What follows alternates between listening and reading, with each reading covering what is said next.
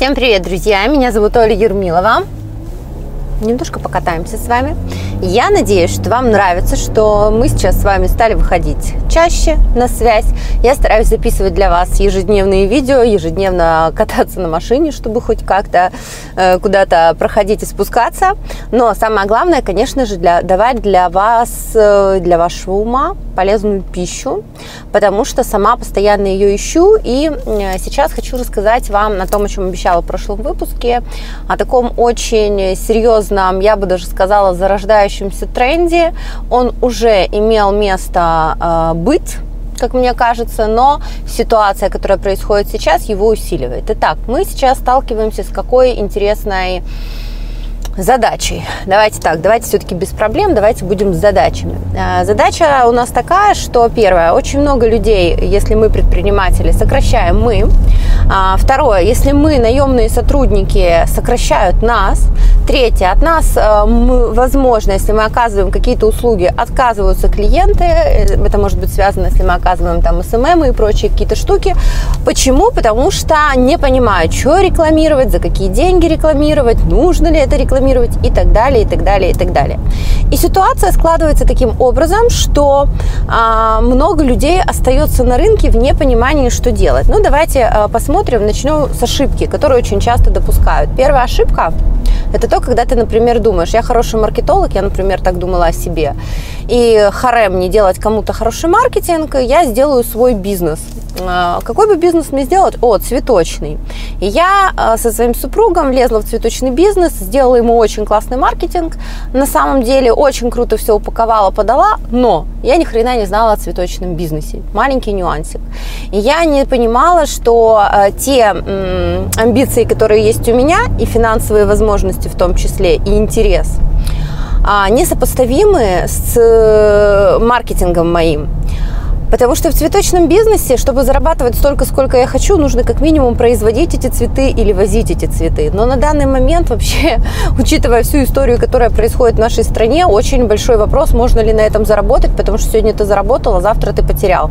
И это как бы тоже, а, ну, такие себе вопросики. И, соответственно, я в этом плане очень конкретно пролетела, потому что я там маркетолог хороший, а с продуктом не знакома. А с продуктом, это, знаете ли, нужно оставить маркетинг и создавать продукт. Очень часто часто многие люди, например, которые являются ремесленниками, ну, например, ты мастер по маникюру, и ты думаешь, открою-ка я свой салон красоты. Вроде клиентов много, я все понимаю, но ты забываешь о том, что клиентов много у тебя, потому что ты хороший мастер. Но для того, чтобы открыть салон, тебе нужно перестать быть хорошим мастером и превратиться в человека хорошего управленца.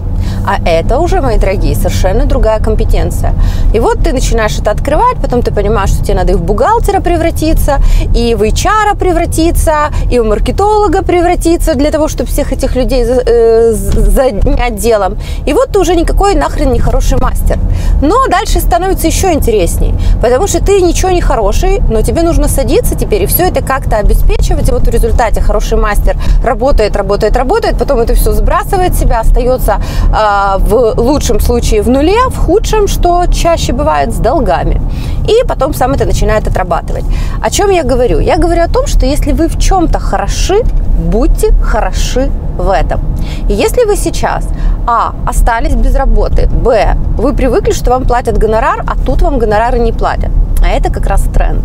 Тренд сейчас заключается в том, что люди перестанут платить за процесс люди начнут привязываться к результату. Уже активно э, развивается история э, о том, что блогеры перестанут получать гонорары, как это было раньше. Вот мой прайс, я это прорекламирую, а дальше мне ничего не интересует. Нифига. Сейчас э, уже это активно обсуждается, что гонорары больше никто получать не будет, а будет конкретный KPI. Вот тебе партнерская ссылка или там, неважно, промокод или еще какая-то фигня, а, пожалуйста, если мы работаем, вот продавай, насколько сколько продаж, вот этот процент твой. Ну, типа, как бы честно. А, и это э, в данных реалиях, ну, как бы по-другому, скорее всего, быть не может. Соответственно, как вы понимаете, для блогеров тоже наступит такой очень непростой период. Как и для любых других людей, например, вы СММщик, и вы раньше продавали свои услуги вам платили, например, тысячу долларов за то, что вы месяц там вели аккаунт. А сейчас вам, э, скорее всего, от вас откажутся. И у вас есть два варианта. Первое, вы подумаете, у нас же классный СММщик, а может мне магазин свой открыть, ну или какую-то фигню. И случится то, о чем я вам только что сказала в начале. Вторая мысль, э, которая будет более разумная и которую я вам рекомендую использовать, это то, что посмотреть на кого-то, у кого, например, есть хороший продукт, и вы понимаете, что подключив свой инструмент, свое умение и навык грамотного СММа, вы можете этому человеку помочь продавать.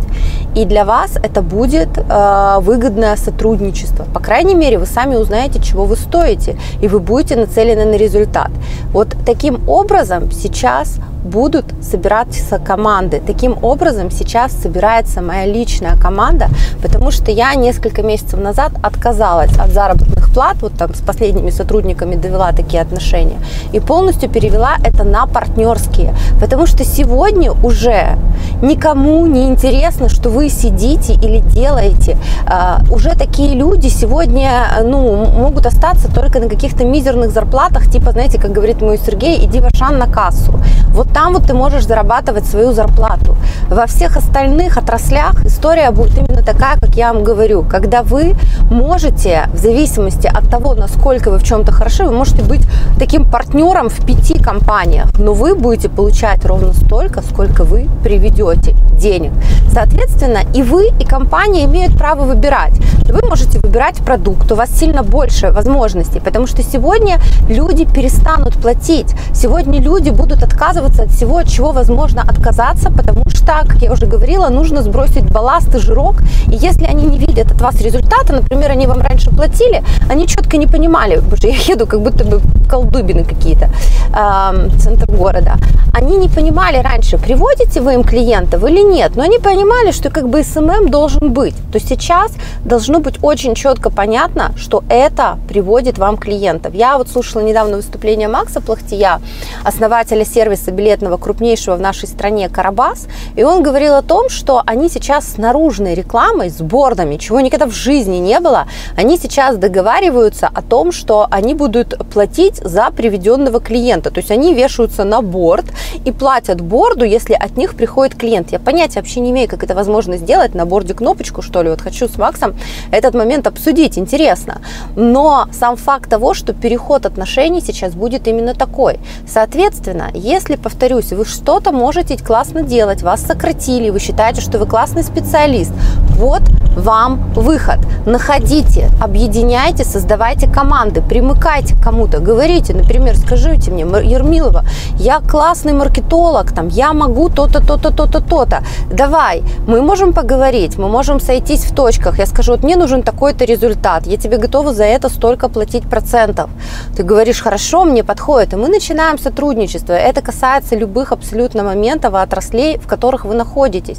То есть задача отследить, как это отследить, это все сегодня отслеживается, каким образом это влияет и э, сколько вы с этого получаете. Потому что в противном случае вы, скорее всего, столкнетесь с тотальной безработицей, с минимальными зарплатами, насколько возможно.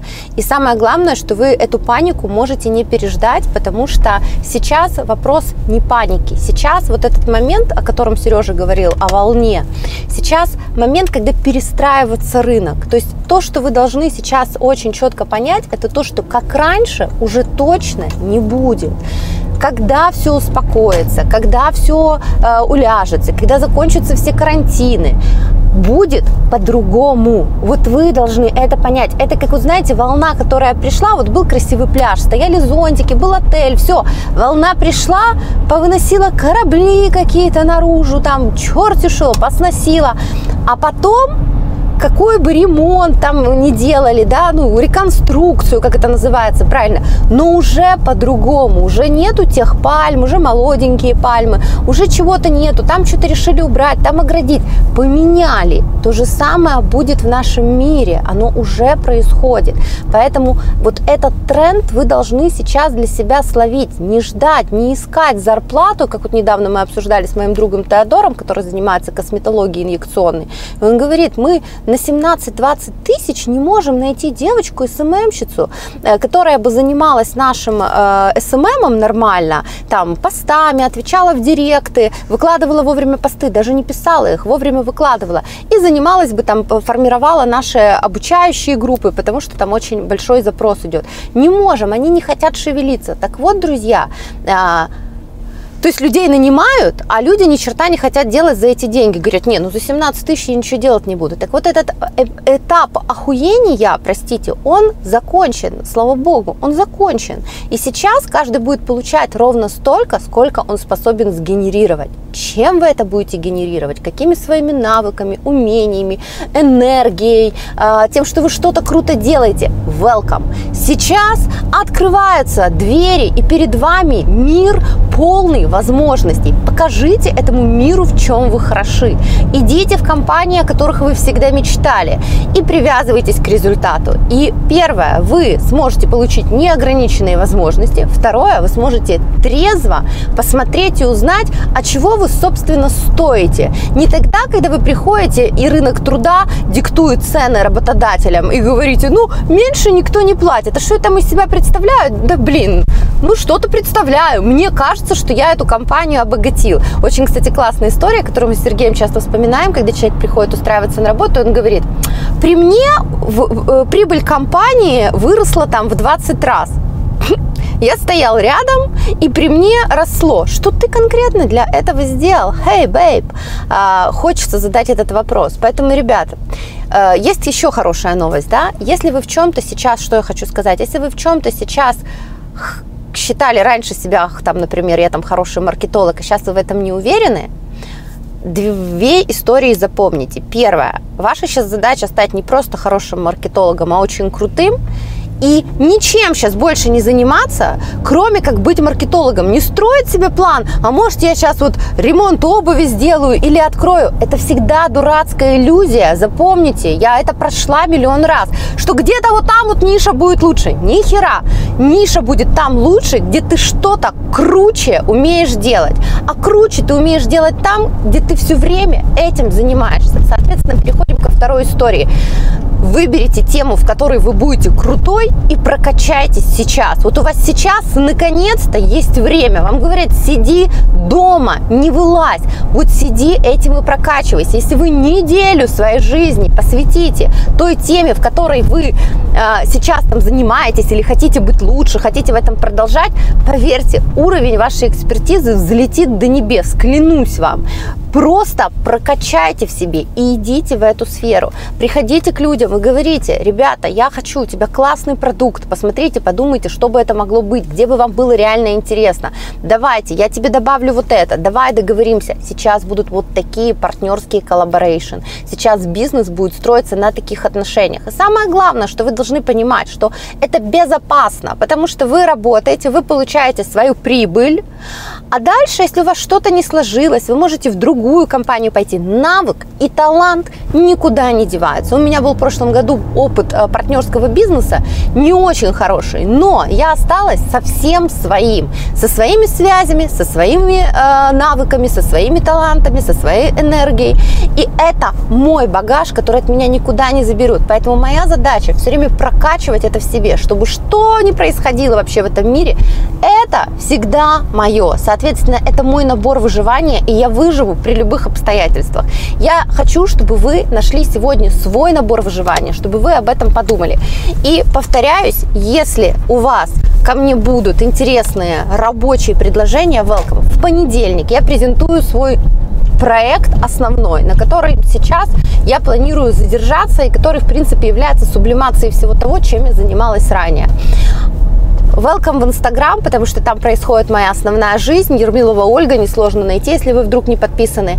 И а, если по этому проекту вы поймете, скажете, Оля, готов работать, он мне нравится, я хочу его распространять, пожалуйста, возможности не ограничены. Помните об этом. Все, люблю, целую, носите маски, мойте руки, а, далеко не уезжайте, я возвращаюсь уже в свою точку, и пусть у вас все будет зашибись. И держитесь подальше от уродов, которых, увы, в жизни хватает, и маска от них защитит.